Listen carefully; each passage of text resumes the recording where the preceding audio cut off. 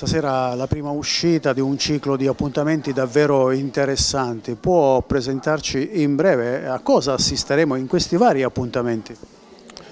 Allora, eh, stasera iniziamo eh, questo reading che ha come protagonisti i poeti dell'area eblea e eh, questa idea è un'intuizione geniale di Giovanni Portelli eh, il quale eh, ha pensato di coniugare il fascino del Museo del Costume con i versi, pensando di realizzare un binomio artistico nuovo ed interessante.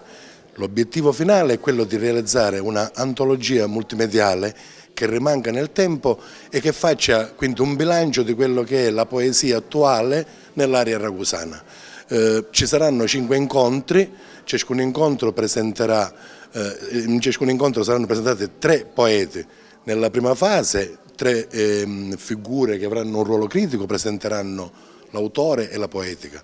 Poi ci sarà questo momento particolare in cui i poeti declameranno i loro versi nelle varie stanze del museo.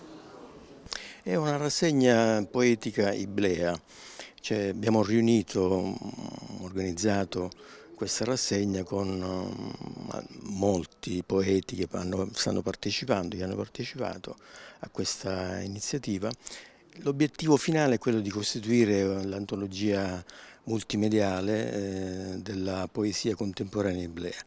Un progetto ambizioso che comunque pensiamo che potrà dare i suoi frutti. Intanto un dato positivo è la partecipazione anche come prima serata, ma anche come partecipazione come numero di poeti, che è abbastanza importante.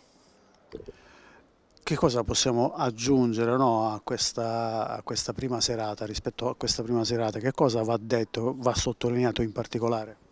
Ma va sottolineato intanto quello che noi ci siamo chiesti all'inizio è dove va la poesia, dove va la poesia in particolare quella iblea. E, quindi questa è una cosa molto importante perché eh, vogliamo creare intorno al museo una comunità di poeti eh, che possono avere come punto di riferimento il museo come luogo di cultura e ancora una volta noi proponiamo il nostro museo come luogo di cultura non solo per Scigli ma per la comunità iblea. Eh, questo progetto parte dalla, dal fattore ricordo e vuole transitare verso la memoria, perché il ricordo senza memoria è labile, è scompare, il luogo della memoria è esattamente il museo, pertanto non si poteva che fare qui. E, ed è qui che cominceremo, credo, un progetto che probabilmente non avrà termine né in questa stagione e mi auguro neanche nelle prossime.